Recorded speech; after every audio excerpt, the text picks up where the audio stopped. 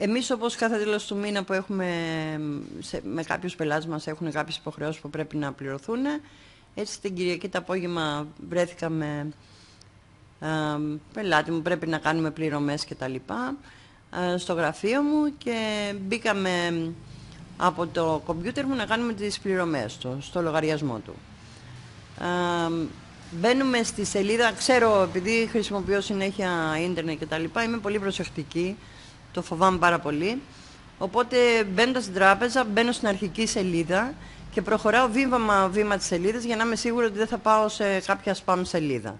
Ελέγχω πάντα να έχει το, αυτό το λουκετάκι που είναι υποτίθεται η ασφάλεια, το πρωτόκολλο ασφαλείας και να γράφει το, η σελίδα το, η τράπεζα στην οποία μπαίνουμε.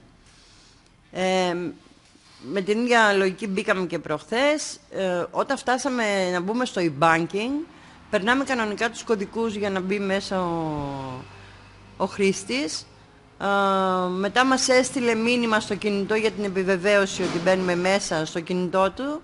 Οπότε το περνάμε για να οριστικοποιηθεί το ότι μπήκαμε και μας πετάει έξω. Ξανακάνουμε δεύτερη φορά τη διαδικασία όλοι από την αρχή. Ξανά μας πετάει έξω με τον ίδιο τρόπο. Σκέφτηκα ότι κάτι δεν πάει καλά και αλλάξαμε browser, οπότε πήγα μετά από ένα άλλο browser και μπήκαμε κανονικά, κάναμε τη δουλειά μας, συνεχίσαμε τη συναλλαγή. Αυτό έγινε Κυριακή απόγευμα.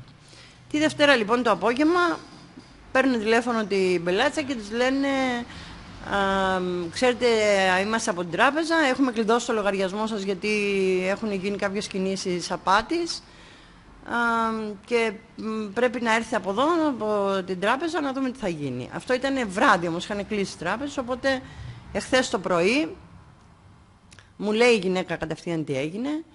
Ε, σκέφτηκα εκεί που μας πέταγε έξω το ότι κάτι συμβαίνει, μπήκα στο ιστορικό και είδα ότι ε, η μία από τις διευθύνσεις, ενώ εμείς είχαμε πληκτρολογήσει τις τράπεζες στην επωνυμία για να μπούμε μέσα, η μία από τις ε, διευθύνσεις που μας είχε βάλει ήταν αρχικά ξεκίναγε σαν διεύθυνση ενός πανεπιστημίου, στην πορεία είχε ένα τμήμα που ήταν η διεύθυνση της τράπεζάς μας και μετά κάποια άλλα πράγματα. Οπότε τύπωσα όλο το ιστορικό για να το έχω μαζί μου. Πήγαμε στην αρχή στην αστυνομία, τα δείξαμε. Ε, μας είπαν ότι δεν μπορούν να κάνουν κάτι αν δεν έχουν χαρτί από την τράπεζα που να φαίνεται ότι υπάρχει αυτή, αυτό το πρόβλημα με τις συναλλαγές. Οπότε φύγαμε, πήγαμε μετά στην τράπεζα. Η τράπεζα μας είπε ότι για να κάνουμε, να κάνουμε δήλωση ότι έχουμε πρόβλημα με τις συναλλαγές πρέπει να περιμένουν να οριστικοποιηθούν οι συναλλαγές, το οποίο θα πάρει πιθανόν μέρες. Α, την ώρα όμως που ήμασταν εκεί, γιατί αλλάξαμε όλες τις κάρτες, όλους τους κωδικούς κτλ. Ε, ο άνθρωπος, ο υπεύθυνος εκεί στην τράπεζα, μπήκε και μας είπε τι έβλεπε για αυτές τις συναλλαγές που έχουν γίνει και είδε ότι μία συναλλαγή ήταν ε, αγορά από κάποιο κατάστημα και έβλεπε την επωνυμία.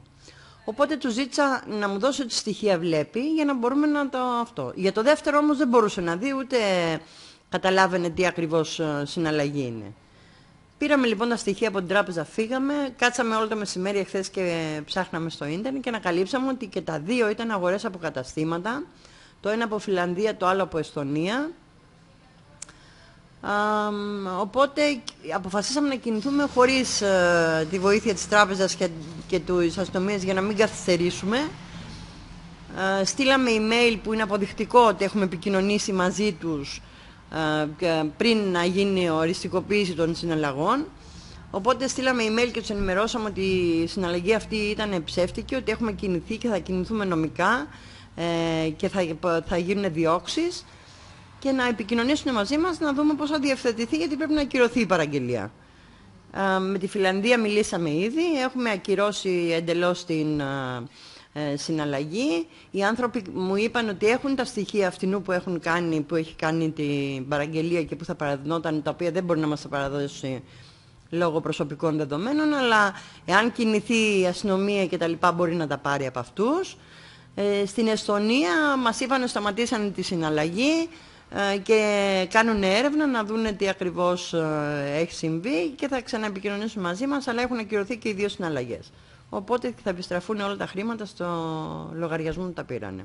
Την ώρα που λοιπόν που εμείς ε, προσπαθούσαμε να μπούμε και δεν μπαίναμε, δεν είχαμε μπει στη σελίδα της τράπεζας, αλλά είχαμε μπει στο hacker της σελίδα, του δίναμε τους κωδικούς πρόσβασης και μετά ε, ζήταγε αλλαγή, ας πούμε, να αλλάξουν οι κωδικοί που έρχονται έγκριση στο δικό του κινητό και εμείς όταν προσπαθήσαμε να βάλουμε τον κωδικό της έγκρισης, του δώσαμε έγκριση να κάνει αυτή την αλλαγή.